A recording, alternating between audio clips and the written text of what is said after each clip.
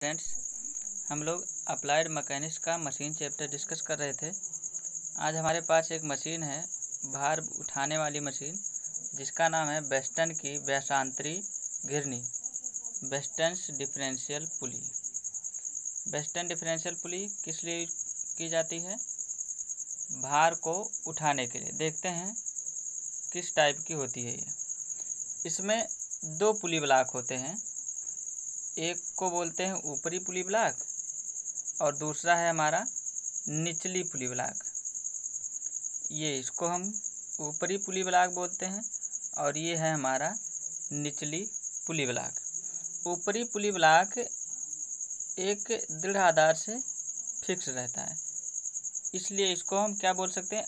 अचल ब्लॉक भी बोल सकते हैं। अचल पुली ब्लॉक भी बोल सकते हैं। और नीचे वाला जो पुली ब्लॉक होता है, वो ऊपर नीचे गति कर सकता है, इसलिए इसको हम क्या बोलते हैं? चल पुली ब्लॉक या चल ब्लॉक भी बोलते हैं।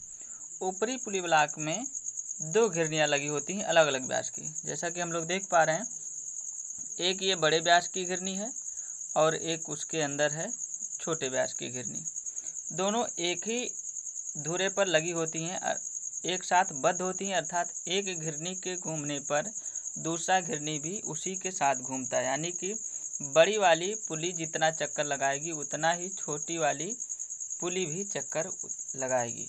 ठीक? अब इस पर भार को निचले वाले पुली ब्लॉक पे लटका दिया जाता है यहाँ पर। ठीक? अब ये भार ऊपर उठता कैसे देखें? इसमें एक सिरा रहित रस्सी होती है, जिसको हम बड़ी पुली से होते हुए लेकर के आते हैं और वो निचले पुली ब्लॉक से, यानी निचली पुली से फंसाते हुए उसको ले करके जाते हैं।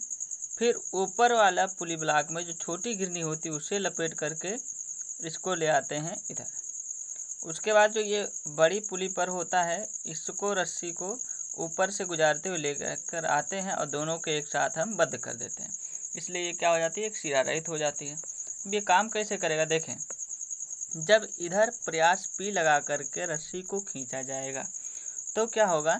इधर घिरनी पर इस दिशा में घूमेगी, यानी कि बड़ी वाली घिरनी पर ये रस्सी लिपटेगी।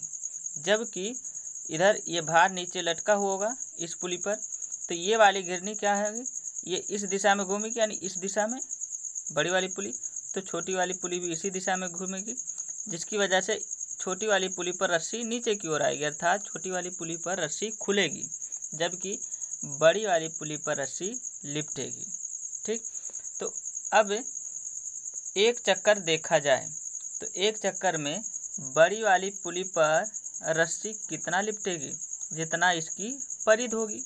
मान लीजिए कि बड़ी वाली पुली का व्यास डी वन है तो बड़ी वाली पुली की परिध कितनी हो जाएगी? Pi D one. Pi D one और इतना ही लंबाई की रस्सी बड़ी वाली पुली पर लिपट जाएगी एक चक्कर में, ठीक?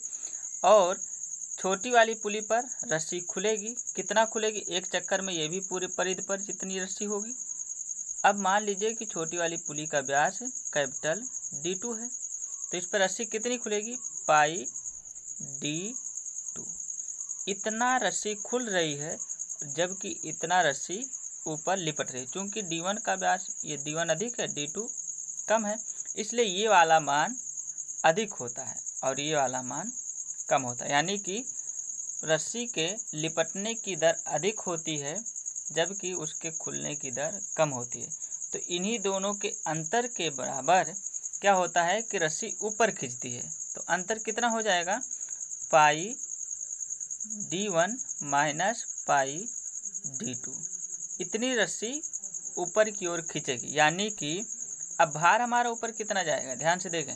रस्सी ऊपर जाएगी, यानी कि इधर वाली भी, इधर वाली दोनों मिला करके ये पूरा किधर लिपटेगी? ये इस तरफ़। ठीक? अब केवल एक तरफ़ ही इधर ही खींच सकती है। तो अब ये भार हमारा ऊपर कितना उठेगा? ध्यान से देखें, अंतर कितना आ रहा था? Pi D one minus pi D two. ये इतनी रस्सी लिपटती है। तो इतनी रस्सी जब लिपटेगी तो ये अब ऊपर कितना जाएगा? जितना कि इधर और इधर। दोनों को मिला करके ये भार हमारा ऊपर उठेगा। तो यानी कि अब इधर रस्सी जबकि एक तरफ़ ही लिपट रही है। यानी कि एक तरफ़ रस्सी लिपटेगी कितना? Pi d one minus pi d two upon two के बराबर। ठीक? तो इतना अब भार हमारा ऊपर उठेगा। और प्रयास एक चक्कर में कितना डोरी खींचेगा अपने तरफ़? जितना कि बड़ी वाली परिध पर, जो बड़ी वाली पुली है, उस पर जितना कि एक चक्कर में रस्सी खुलेगी। तो यानी कितनी रस्सी? पाई डी वन इतना प्रयास पी वाली रस्सी इधर, इतना ये दूरी आगे बढ़ेगी, ठीक? यानी कि प्रयास पी द्वारा चली गई दूरी कितनी हो जाएगी? पाई डी वन और भार द्वारा ऊपर चली गई दूरी कितनी हो जाएगी? Pi d one minus pi d two upon two. ठीक? तो यहाँ से क्या हो जाएगा? अब अगर जो हमें ब्लास्टी रेशियो निकालना हो तो कैसे निकालेंगे? ब्लास्टी रेशियो बराबर क्या फार्मूला होता है? प्रयास पी द्वारा चली गई दूरी बटे में भार डब्लू द्वारा चली गई दूरी। तो प्रयास पी द्वारा एक चक्कर में कितनी दूरी चल रही है? Pi d one. और भार द्वारा कितनी दूरी चल रहे हैं?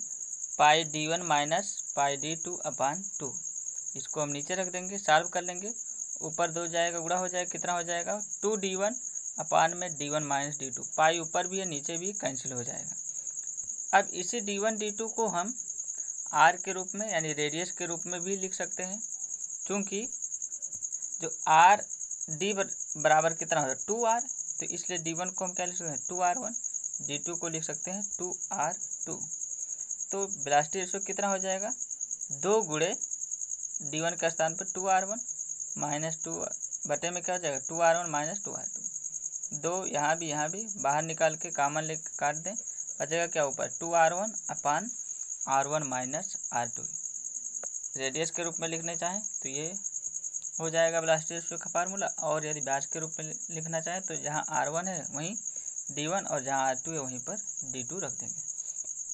अब यदि जहाँ पर हम पुली प्रयोग करें, वहीं पर पुली ना प्रयोग करके एक गियर प्रयोग करें, यानी दांतेदार पहिया, और डोरी के स्थान पर लगा दें हम चैन तब क्या फार्मूला बन जाएगा?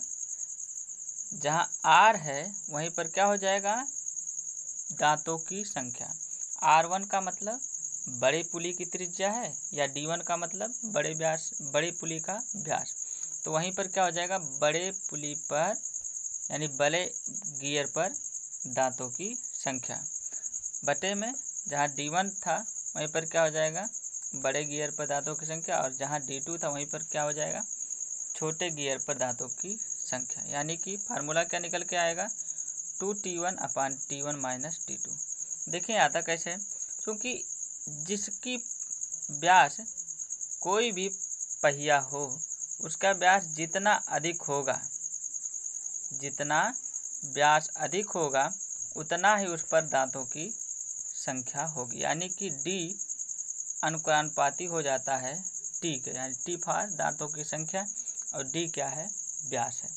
यानी डी जितना अधिक होगा, उतना ही उस पर दांतें बनेंगे। ठीक? अब इसको हम और क्या ले सकते हैं? अगर जो डी अनुपाती है टी के तो हम d one upon d two को t one upon t two भी लिख सकते हैं। यहाँ से यह है इसके अनुपाती और ये इसके अनुपाती ठीक? यानी d one upon d two को हम लिख सकते हैं t one upon t two अब यहाँ फार्मूले में देखें तो यहाँ से अगर नीचे जो है, हम डी वन कामन ले लें तो क्या हो जाएगा? ऊपर तो टू डी वन रहेगा ही, नीचे से हम डी वन जब कामन लेंगे तो बचेगा क्या? कोष्टक में यहाँ कुछ नहीं तो एक बचेगा। माइनस डी टू अपान में डी वन, ये डी वन, ये डी वन कैंसिल हो जाएगा। यानी ऊपर क्या बचेगा? दो, नीचे क्या बचेगा? One minus d two upon d one. One minus d two upon d one को क्या लिख सकते हैं हम? T two upon t one. यदि t one upon t two बराबर d one upon d two तो d two upon d one को हम क्या लिख सकते हैं? T two upon t one यानी यहाँ पर क्या हो जाएगा? दो बटे में one minus t two upon t one तीछा गुड़ा करा देंगे, यहाँ क्या हो जाएगा? T one minus t two और ये टी वन ऊपर चला जाएगा, क्या हो जाएगा? टू टी वन तो यहीं से फार्मूला क्या आ जाएगा? टू टी वन बटे में t one minus t two यदि पुली के स्थान पर हम गियर प्रयोग करें तो जहाँ टी वन क्या है? बड़े गियर पर दांतों की संख्या और टी टू क्या है? छोटे गियर पर दांतों की संख्या। ये हो जाता है हमारा बेलास्टी रेशियो का फार्मूला ठीक? अब हमको मैकेनिकल एडवांटेज निकालना होगा तो क्या करेंगे? यदि मान लें एफिशिएंसी हंड्रेड परसेंट यानी कि वो आदर्श मशीन है तो क्या करेंगे? नीटा बराबर क्या रख देंगे? एक। और हम जानते हैं नीटा बराबर क्या होता है? मैकेनिकल एडवांटेज बटे में बेलास्टी रेशियो ये एक है, यानी कि मैकेनिकल एडवांटेज बराबर क्या हो जाएगा? बेलास्टी रेशियो के तो जितना बेलास्टी रेशियो आया, वही क्या हो जाएगा हमारा मैकेनिकल एडवांटेज, ठीक? आगे बढ़े। अगला हेडिंग है, साधारण पहिया तथा धुरी सिंपल व्हील एंड एक्सल। यानी इसमें क्या लगा होगा? एक व्हील यानी पहिया लगा होगा, और एक क्या लगा होगा? एक्सल यानी धुरा देखें, ये हमारी मशीन कुछ इस टाइप की होती है। इसमें एक ये पहिया है और ये है हमारी एक्सल धुरी धुरी के साथ पहिया फिक्स बधा होता है, यानी कि यदि पहिया घूमेगा तो उसी के साथ ये धुरा भी घूमेगा। जितना पहिया घूमेगा, उतना ही धुरा भी घूमेगा। यदि पहिया एक चक्कर लगा रहा है तो धुरा भी एक चक्कर ही लगाएगा, ठीक? जिस दिशा में पहिया घूमेगा, उसी दिशा में धुरा भी घूमेगा। ये धुरा दोनों तरफ़ से बेरिंग के सहारे सपोर्ट प्रदान करता है। बेरिंग को बेरिंग के सहारे ये धुरा दोनों तरफ़ सपोर्ट लेता है, यानी कि बेरिंग इस धुरे को सपोर्ट देने का काम करता है, इन्हीं सपोर्ट के सहारे ये धुरा घूमता है, ऐसे। ठीक? अब हमको भार अगर जो डब्लू को उठाना है तो क्या करते हैं, इसमें दो रस्सी प्रयोग करते हैं। एक रस्सी को हम इस दूरी पर लपेट देते हैं, किसी पॉइंट पर बाँध करके इस दूरी पर इस टाइप के कुछ रस्सी हम बाँध देते हैं, ठीक? और एक रस्सी हम पहिए पर लपेट देते हैं, कुछ इस टाइप का, ठीक? इधर से रस्सी का जो दूसरा छोर होता है, उसको हम नीचे लटका देते हैं, जहाँ से प्रयास पी लगाते हैं। और एक छोर को हम इसी पहिए पर बाँध देते हैं, ठीक? उसी प्रकार इसमें भी धुरे पर भी एक छोर को हम इसी धुरे पर बाँध देंगे और दूसरे छोर को हम नीचे लटका देंगे जिस पे डब्लू लटकेगा, ठीक?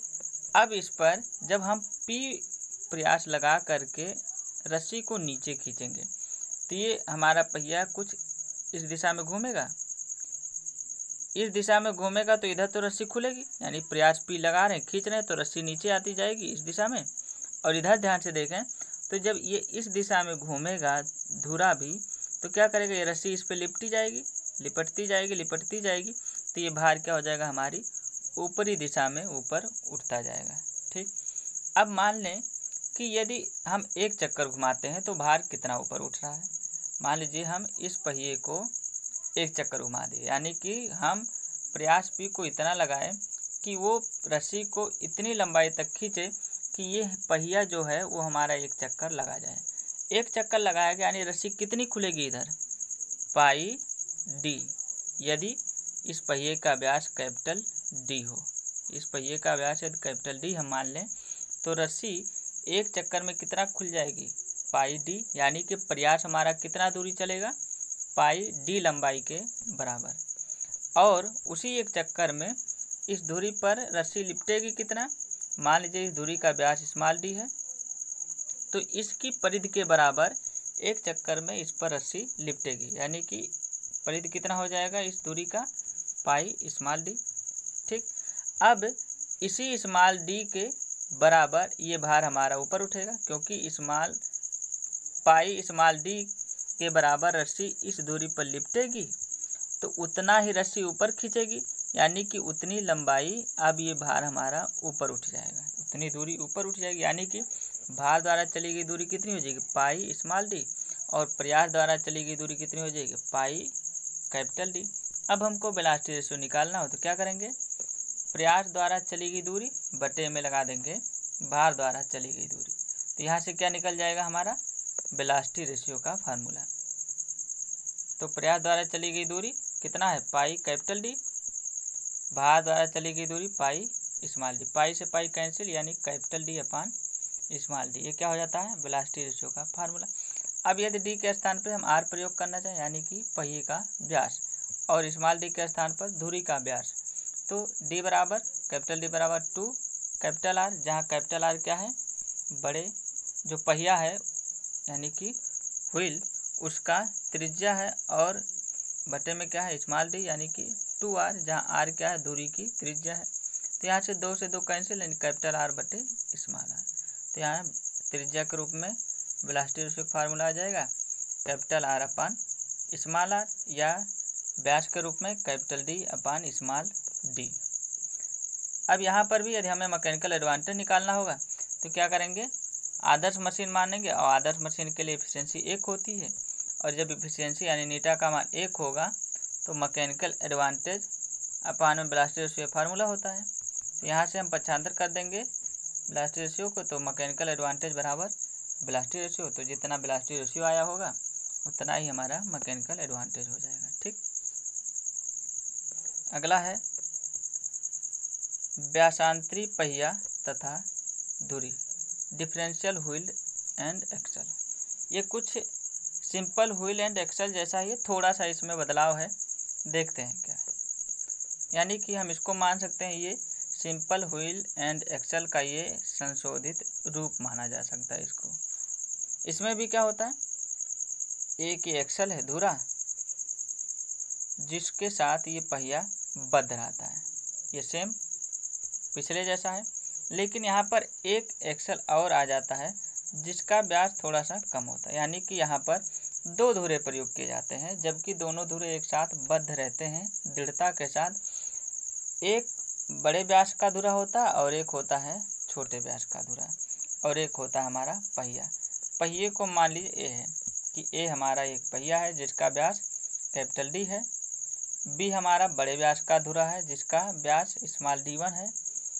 सी हमारा छोटे व्यास का धुरा है, जिसका व्यास स्मॉल डी टू है। ये धुरा भी दोनों साइड में बेरिंग के सहारे सपोर्टेड रहता है, इधर भी और इधर भी, ठीक। इसमें एक रस्सी को हम इस पहिए पर किसी एक बिंदु पर बाँध करके लपेट देते हैं कुछ टाइप का, और उसका दूसरा सिरा नीचे लटका देते हैं, जहाँ पर प्रयास भी लगाया जाता है। दूसरी रस्सी को हम क्या करते हैं कि एक रस्सी एक रस्सी के एक सिरे को हम किस पे लपेटते हैं? बड़े व्यास वाले एक्सल पर और दूसरे सिरे को छोटे व्यास वाले एक्सल पर लपेट देते हैं। इसमें लपेटते समय ये सावधानी बरतनी होती है कि इस रस्सी को, जो दूसरी रस्सी है, इसको इस तरीके से लपेटेंगे कि बड़े व्यास पर ये रस्सी लिपटे, जबकि छोटे व्यास के एक्सल पर ये रस्सी खुले। यानी कि दोनों की दिशाएँ उल्टी रहेंगी, कि एक पर रस्सी लिपटी जाएगी और दूसरी पर रस्सी खुलती जाएगी। और इन्हीं दोनों रस्सी के सहारे यहाँ पर लगा दिया जाता है एक पुली, जो होती है, जिसको हम बोल सकते हैं चल पुली। क्यों? क्योंकि ये ऊपर नीचे मूव करती है। इसी पुली के सहारे उठाने वाला भार कैपिटल डब्लू लटका दिया जाता है, ठीक? अब देखिए इसमें काम कैसे करेगा। जब हम इसको नीचे खींचेंगे, प्रयास भी को नीचे खींचेंगे तो क्या होगा? ये इस दिशा में घूमेगा? ऐसे? इस दिशा में जो घूमेगा, पहिया तो पहिया के साथ फिक्स है हमारा धुरा तो यानी धुरा भी इसी दिशा में घूमेगा। जब इस दिशा में घूमेगा तो रस्सी इस पर लिपटेगी। और इधर, इस दिशा में ये एक्सल भी घूमेगा, छोटे व्यास वाला। तो इसमें क्या होगा? रस्सी खुलेगी। यानी इधर रस्सी लिपटेगी और इधर रस्सी खुल रही है।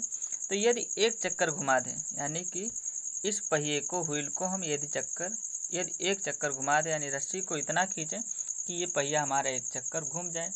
तो अब कितना एक चक्कर घूमेगा जब पहिया, यानी कितनी दूरी घूमेगा? पाई, कैपिटल डी के, यानी कि इसके परिधि के बराबर।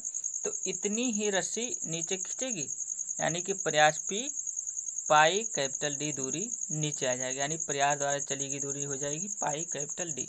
अब भार की बात करते हैं। इसमें क्या होगा? कि इधर बड़े व्यास वाले एक्सल पर रस्सी लिपटेगी। तो एक चक्कर में कितनी रस्सी लिपटेगी?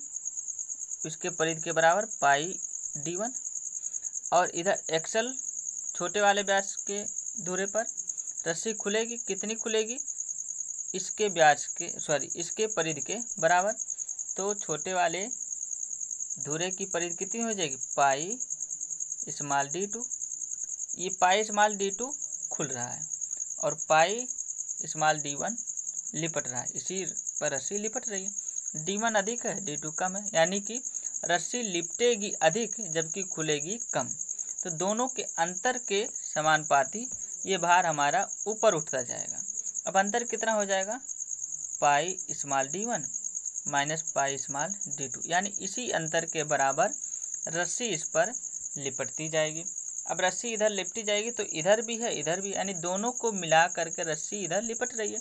तो अब भार कितना ऊपर उठेगा? भार इसी के आधे के बराबर, जैसा कि अभी पीछे देखे हैं। तो pi small d one minus pi small d two upon two. इतनी भार ऊपर उठेगा, इतनी दूरी भार ऊपर उठेगा। यानी भार द्वारा चली गई दूरी क्या हो जाएगी? Pi small d one minus pi small d two upon में टू। अब भार द्वारा चली गई दूरी निकल गया और प्रयास द्वारा चली गई दूरी निकल गया। तो यहाँ से हम क्या निकाल लेंगे बेलास्टी रेशियो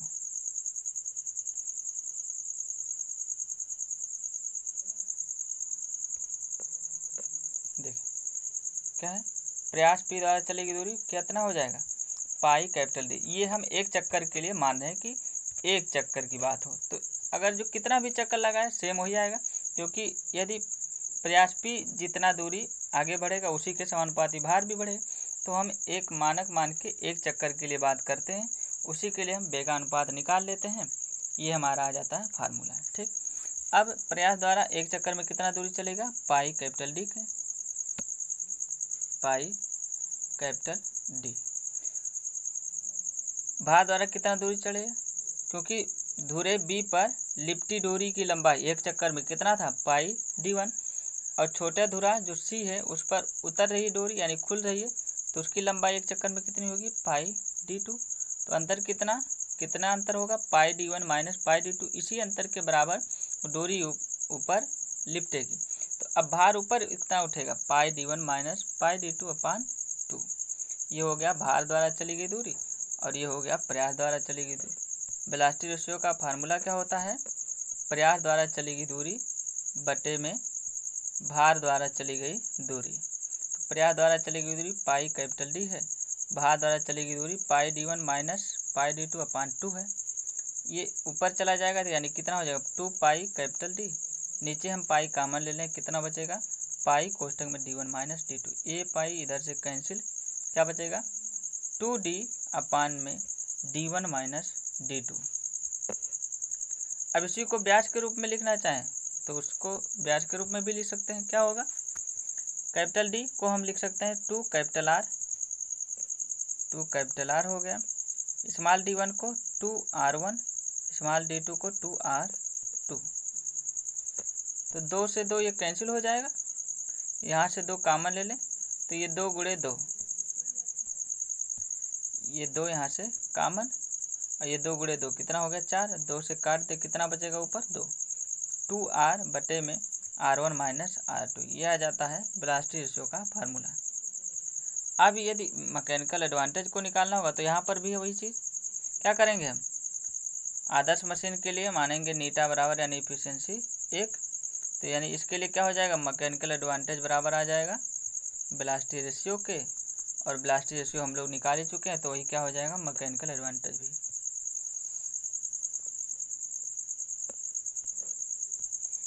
अगला है, वर्म तथा वर्म पहिया, यानी वर्म एंड वर्म हुईल इसी को हम स्क्रू तथा वर्म पहिया भी बोलते हैं।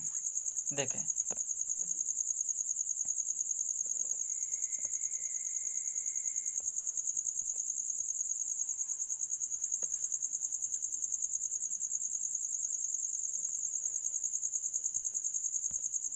ये कुछ इस टाइप का होता है हमारा, वर्म एंड वर्म हुईल देखें, इसमें एक स्क्रू ये लगा होता है, जिस पर ये चूड़ियाँ बनी रहती हैं, इस टाइप की ये। चूड़ियाँ बनी होती हैं, इसी को हम वर्म भी बोलते हैं। यानी कि ये एक सिंपल स्क्रू होता है, जिसको हम यहाँ पर वर्म बोल रहे हैं, और उसी से अटैच हुआ एक गियर होता है।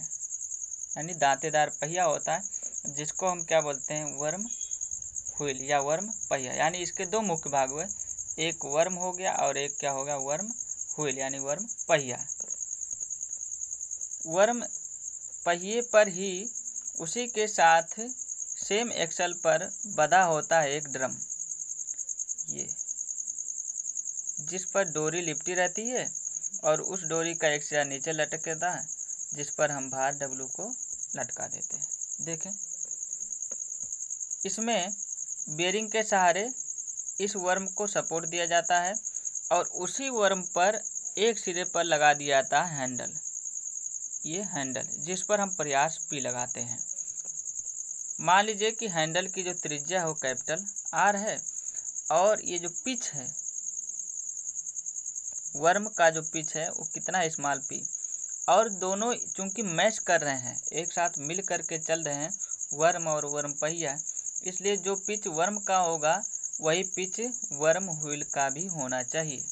यानी कि दोनों की पिच कितनी हो जाएगी? Small p. देख लेते हैं पिच क्या होती है।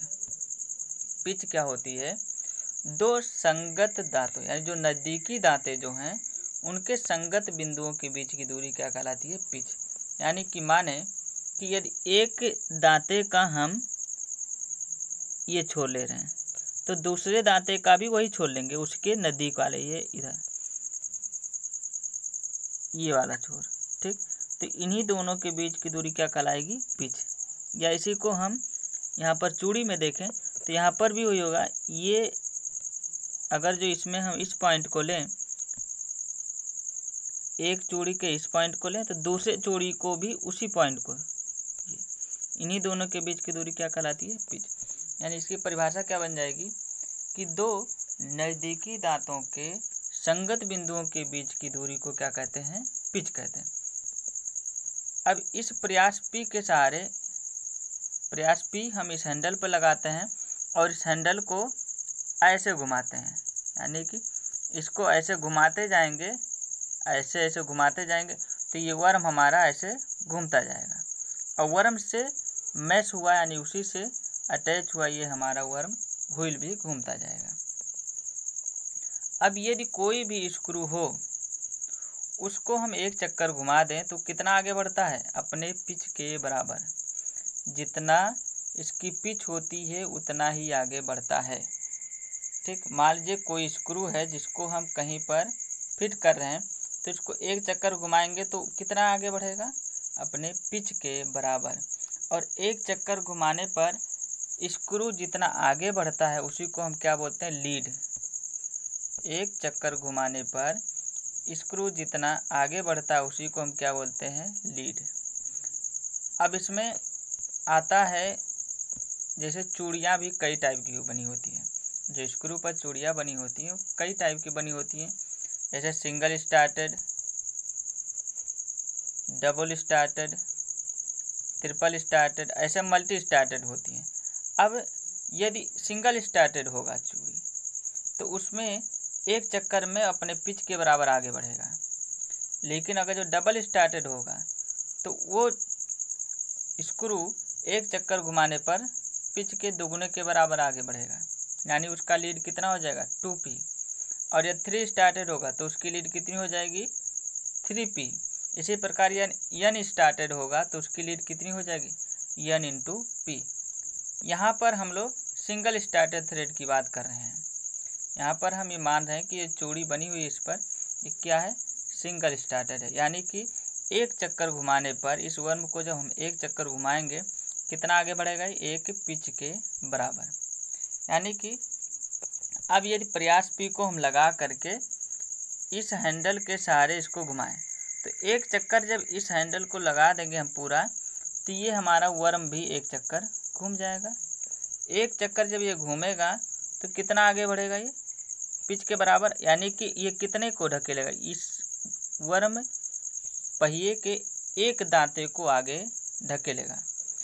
अब यदि इस टाइप का, इधर हम घुमा रहे हैं तो ये हमारा ऐसे घूमेगा, यानी कि ये हमारा गियर या वर्म पहिया इस दिशा में घूमेगा। तो एक चक्कर जब हम लगा देंगे इस हैंडल का, यानी कि वर्म जब एक चक्कर हमारा घूम जाएगा तो ये दांतादार पहिया कितना आगे बढ़ेगा? एक दांते के बराबर। एक दांता जितना जगह लेता है बनने में, उतना दूरी इसको ये इधर ढकेल देगा। अब यदि प्रयास द्वारा एक चक्कर की बात करें कि एक चक्कर लगाने पर प्रयास कितनी दूरी चल रहा है, मान लीजिए इसकी त्रिज्या कितनी है, जहाँ पर हैंडल लगा हुआ है आर है, कैपिटल आर। तो एक चक्कर का मतलब अब उस एक परिध बना लेगा तो परिध की जिसकी त्रिज्या क्या हो जाएगी? कैपिटल आर हो जाएगी। अब इस परिध की लंबाई निकालना होगा तो क्या होता है? परिध की लंबाई टू पाई आर तो हो जाएगा टू पाई आर इसी को पाई डी भी लिखते हैं। यानी कि प्रयास पी द्वारा एक चक्कर में चलेगी दूरी कितनी हो जाएगी? टू पाई कैपिटल आर ये तो निकल गया प्रयास द्वारा चलेगी दूरी।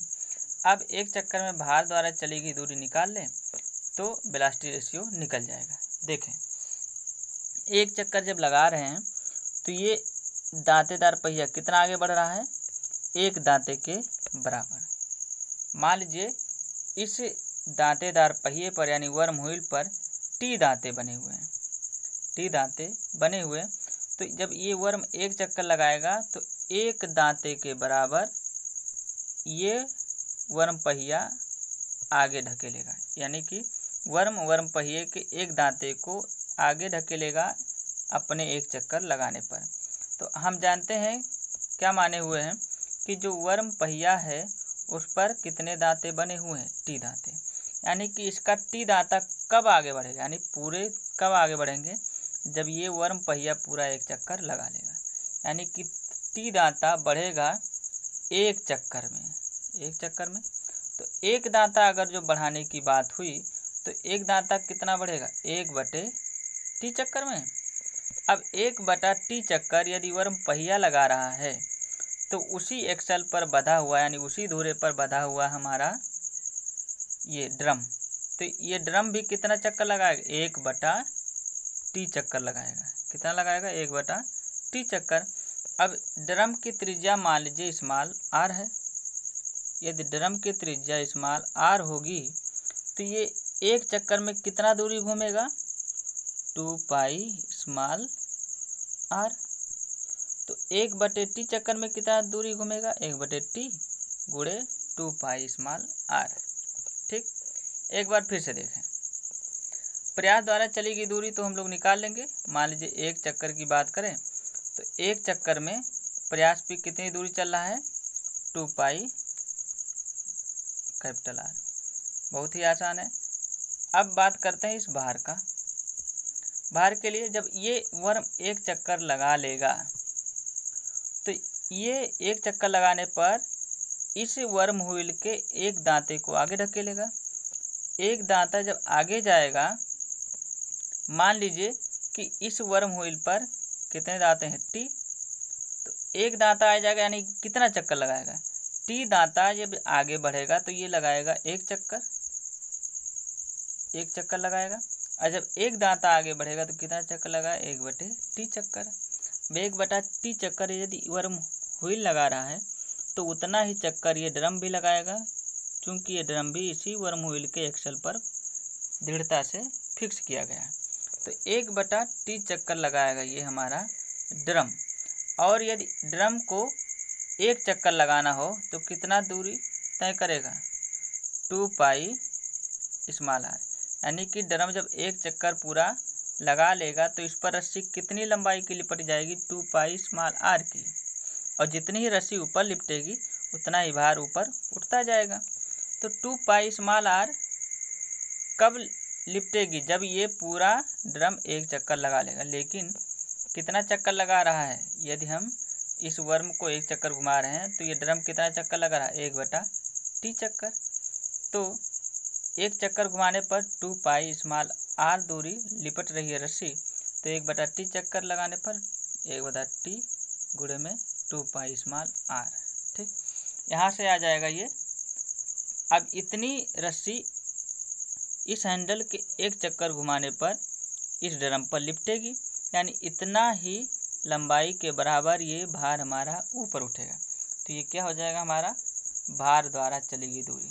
भार द्वारा चलेगी दूरी पता हो गया, प्रयास द्वारा चलेगी दूरी पता हो गया। तो अब हम ब्लास्टी रेशियो निकाल सकते हैं।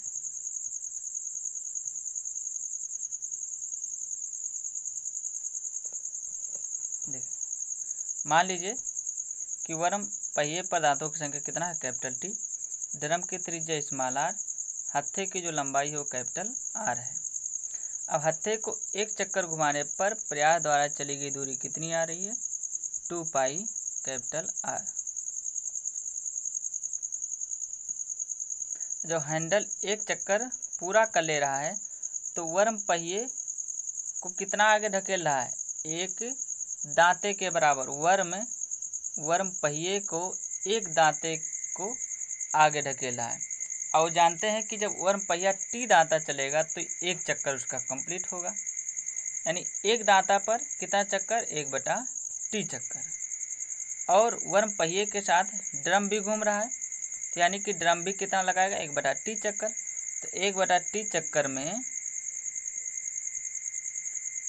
ड्रम पर लपेटी गई डोरी की लंबाई कितना हो जाएगा? एक बटा टी गुड़े टू पाई स्मॉल आर। यही लंबाई क्या हो जाएगी? भार द्वारा चली गई दूरी। भार डब्लू द्वारा चली गई दूरी बराबर क्या हो जाएगा ड्रम पर लपेटी गई डोरी की लंबाई। यानी कितना वन अपान टी गुड़े टू पाई आर। यानी two pi r upon capital t तब यहाँ से आ जाएगा वेगा अनुपात हमारा, यानी वेलासिटी रेशियो वी आर क्या हो जाएगा? प्रयास पी द्वारा चली गई दूरी बटे भार डब्लू द्वारा चली गई दूरी। प्रयास द्वारा चली गई दूरी निकाल चुके हैं। टू पाई कैपिटल आर बटे में भार द्वारा चली गई दूरी। टी ऊपर जाके गुड़ा हो जाएगा, यानी t upon two pi small r. Two pi से टू पाई कैंसिल हो जाएगा, यानी बचेगा क्या? आर टी बटे में स्मॉल आर। ये आ जाएगा हमारा बेलास्टी रेशियो का फार्मूला अब आदर्श मशीन मान लें तो इफ़िशेंसी क्या हो जाएगी हमारी? एक तो यहाँ से क्या हो जाएगा? मैकेनिकल एडवांटेज बराबर इफ़िशेंसी गुड़े बेलास्टी रेशियो इफ़िशेंसी है एक।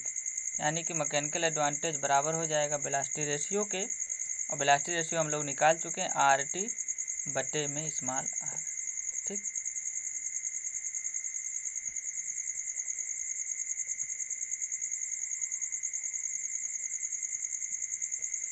अगला हमारे पास मशीन है स्क्रू जैक स्क्रू जैक का नाम तो सुना ही होगा। स्क्रू जैक किस सिद्धांत पे काम करता है? पेंच के सिद्धांत पे। यानी कि पेंच का सिद्धांत क्या कहता है? कि एक चक्कर घुमाने पर पेंच कितना आगे बढ़ता है? अपने पिच के बराबर। पिच के बराबर। यानी कि एक चक्कर घुमाने पर पेच जितना आगे, यानी स्क्रू जितना आगे बढ़ता है, उसी को लीड बोलते हैं। और यदि स्क्रू सिंगल स्टार्टेड है, यानी कि जो उस पर थ्रेड बनी हुई है, चूड़ियाँ कटी हुई हैं, वो सिंगल स्टार्टेड हैं तो पेंच कितना आगे बढ़ेगा? अपने पिच के बराबर, यानी उसकी लीड कितनी हो जाएगी? पिच के बराबर, यानी लीड बराबर क्या हो जाएगा? पिच ठीक? स्क्रू जैक किस लिए प्रयोग किया जाता है? भारी भार को उठाने के लिए, यानी अधिक बोझ है उसको उठाने के लिए स्क्रू जैक का प्रयोग हम लोग करेंगे। जैसे इसका हम लोग देखते हैं कि कार, बस या ट्रक कोई भी पहिया यदि बदलना हो या कोई और मरम्मत के लिए यदि उसको उठाने की ज़रूरत पड़ती है तो हम उसी के एक्सल पर यानी धूरे पर क्या लगा देते हैं? Screw jack. स्क्रू जैक के सहारे उस गाड़ी को हम ऊपर उठा देते हैं और अपने मरम्मत को कर लेते हैं, ठीक? अब स्क्रू जैक हमारे दो टाइप के होते हैं। एक होता है सिंपल स्क्रू जैक यानी साधारण स्क्रू जैक और एक होता है डिफरेंशियल स्क्रू जैक यानी व्यासांतरी स्क्रू जैक। सबसे पहले हम लोग देखेंगे सिंपल स्क्रू जैक को।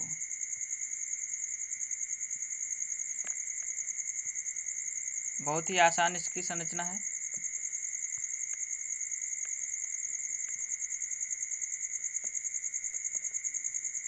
ये हमारा स्क्रू जैक इसमें क्या होता है? एक ये स्क्रू है, ये पूरा, जिस पर ये चूड़िया बनी हुई है। चूड़िया बनी हुई हैं? जब इसको हैंडल के सहारे इसी स्क्रू पर आगे लगा होता है हैंडल, ठीक? और इस स्क्रू के ऊपर एक हेड बना होता है जिस पर हम उठाने वाले भार को रख देते हैं। यानी कि इसको, जिस भी भार को उठाना होता है, यहीं पर रखते हैं उसको। और ये स्क्रू किसमें फिक्स होता है? एक बॉडी में, जिस पर इंटरनल थ्रेड कटी होती है, जिसी को हम क्या बोलते हैं? नट या डिबरी बोलते हैं। यानी इस बॉडी में इंटरनल थ्रेड कटी होगी और ये जो स्क्रू है, इस पर कितना है? ये रॉड पे आउटर यानी एक्सटर्नल थ्रेड बाह्य चूड़ी कटी होती है, ठीक? अब इस हैंडल के सहारे जब हम इस स्क्रू को घुमाएँगे तो ये क्या करेगा? ऊपर बढ़ेगा और उसी को उल्टा दिशा में घुमा देंगे तो नीचे आएगा। तो मान लीजिए एक चक्कर की बात करें और इसी हैंडल पर प्रयास पी लगाते हैं। मान लीजिए एक चक्कर लगा रहे हैं हैंडल के द्वारा। तो एक चक्कर जब लगाएँगे तो प्रयास कितना दूरी चलेगा?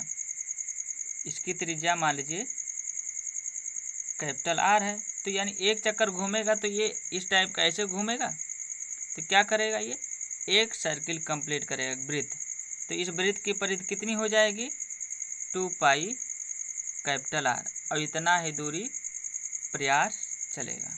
यानी प्रयास द्वारा चलेगी दूरी क्या हो जाएगी? Two pi capital r. अब भार हमारा कहाँ पर रखा हुआ है? इस स्क्रू के हेड पर, यहाँ पर। तो अब पेच हमारा कितना यानी स्क्रू कितना हमारा ऊपर उठेगा? स्क्रू हमारा इस पिच के बराबर जितना इस स्क्रू का पिच होगा, ये स्मॉल पी उतने के बराबर ये स्क्रू हमारा ऊपर उठेगा। यानी कि भार हमारा पिच के बराबर ऊपर उठ जाएगा, एक चक्कर घुमाने पर। तो भार कितना दूरी ऊपर उठा? इस स्क्रू के पिच के बराबर। और प्रयास कितना दूरी चला? Two pi capital r. तो यहाँ से ब्लास्टिक रेशियो हम लोग निकाल लेंगे। कि ब्लास्टिक रेशियो बराबर, प्रयास द्वारा चलेगी दूरी, कितना आया है? Two pi capital r. और भार द्वारा चलेगी दूरी कितना आया है? पिच के बराबर। तो क्या हो जाएगा हमारा? यहाँ देखें। मान लीजिए कि हैंडल एक चक्कर लगा रहा है। हैंडल के एक चक्कर में प्रयास पी द्वारा चलेगी दूरी कितनी हो जाएगी? Two pi capital r. और स्क्रू के एक चक्कर लगाने पर या एक पिच के आगे, बराबर आगे बढ़ता है, जितना उसका पिच होगा, किसके लिए? सिंगल स्टार्टेड थ्रेड के लिए। ये डबल स्टार्टेड होगा तो दो गुड़े पिच होगा, और ट्रिपल स्टार्टेड होगा तो तीन गुड़े पिच के बराबर डब्लू आगे बढ़ेगा।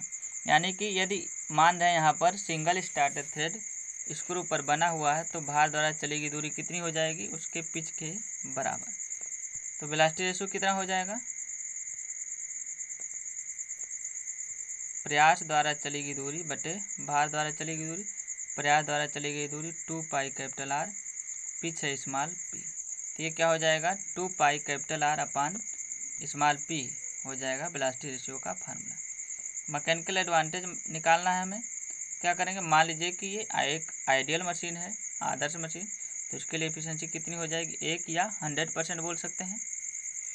तो मैकेनिकल एडवांटेज कितना हो जाएगा? एफिशिएंसी गुड़े ब्लास्टिक रेशियो एफिशिएंसी का मान एक आइडियल मशीन के लिए इंटू ब्लास्टिक रेशियो यानी मैकेनिकल एडवांटेज बराबर ब्लास्टिक रेशियो ब्लास्टिक रेशियो हम लोग निकाल चुके हैं।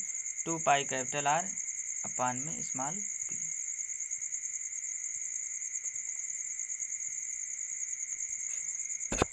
अगला है डिफरेंशियल स्क्रू जैक यानी व्यासांतरी स्क्रू जैक ये भी सिंपल स्क्रू जैक ही के जैसा ही है, थोड़ा सा इसमें अंतर आता है, यानी उसी का संशोधित रूप इसको मान सकते हैं।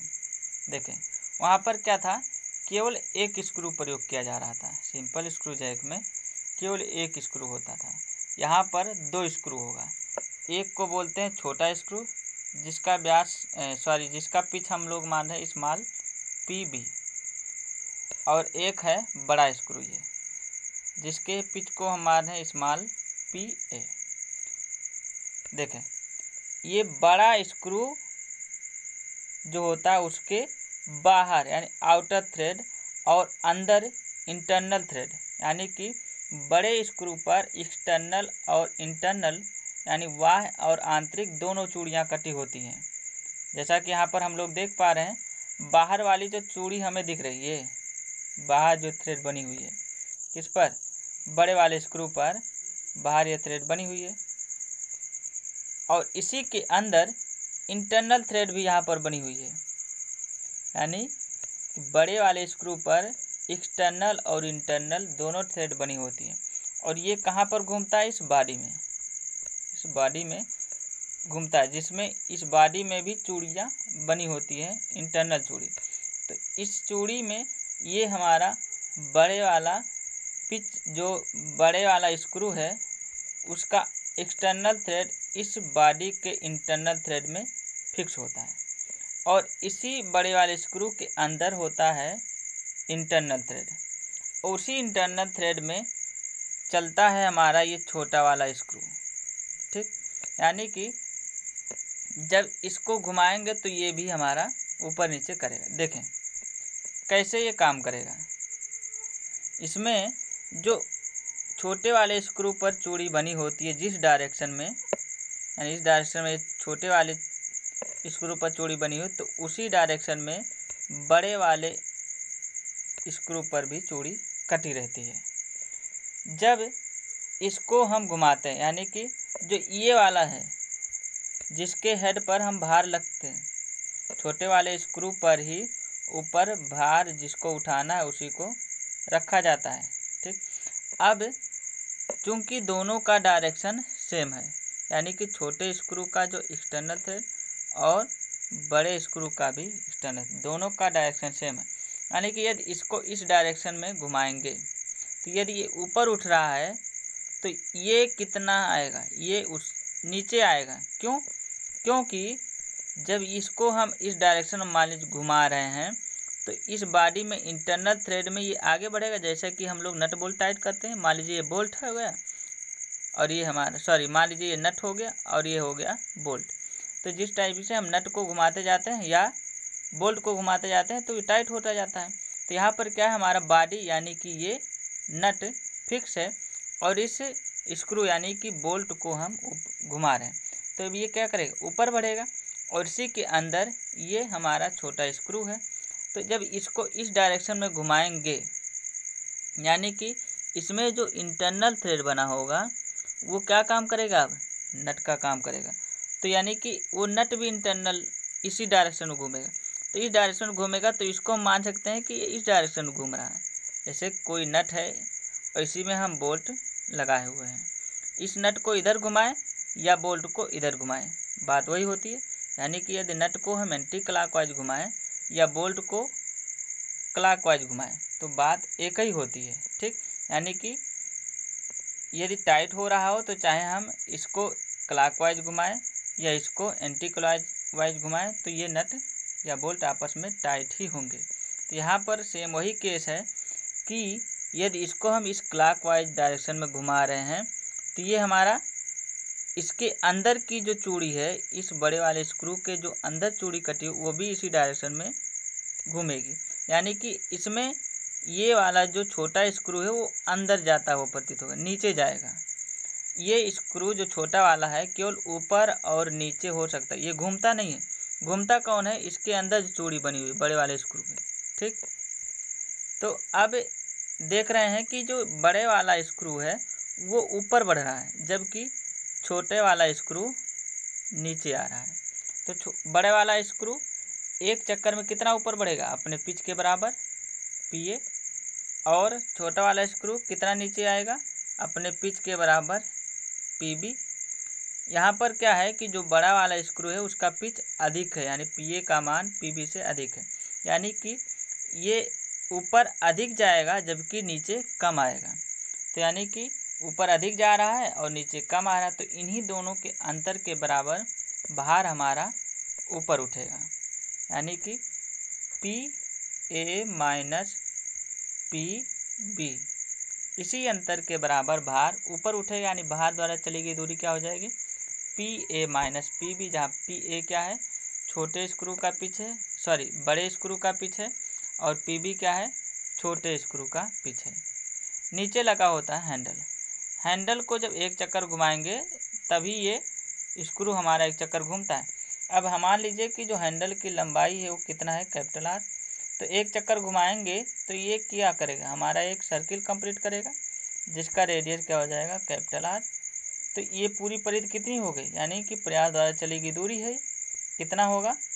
टू पाई कैपिटल आर तो प्रयास द्वारा चली गई दूरी कितनी हो गई? Two pi capital r.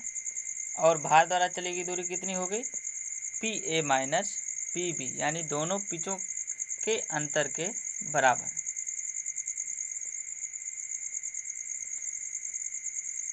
तो यहाँ से ब्लास्टी रेशियो क्या हो जाएगा हमारा? प्रयास द्वारा चली गई दूरी बटे भार द्वारा चली गई दूरी। प्रयास द्वारा चली गई दूरी कितना है? टू पाई कैपिटल आर, बाहर द्वारा चली गई दूरी कितनी है? P a minus p b mechanical advantage निकालना हो तो मान लीजिए कि यह एक आइडियल मशीन है तो उसके लिए इफिशियंसी कितनी हो जाएगी? एक. यानी मैकेनिकल एडवांटेज कितना हो जाएगा? नीटा यानी इफिशियंसी गुड़े बिलास्टी रेशियो इफिशियंसी का मान एक बिलास्टी रेशियो तो कितना हो जाएगा? मैकेनिकल एडवांटेज बराबर बिलास्टी रेशियो और बिलास्टी रेशियो हम लोग निकाल चुके हैं टू पाई कैपिटल आर बटे में. P a minus p b ये हो जाता है हमारा मकैनिकल एडवांटेज और ब्लास्टी रेशियो ठीक? Okay thank you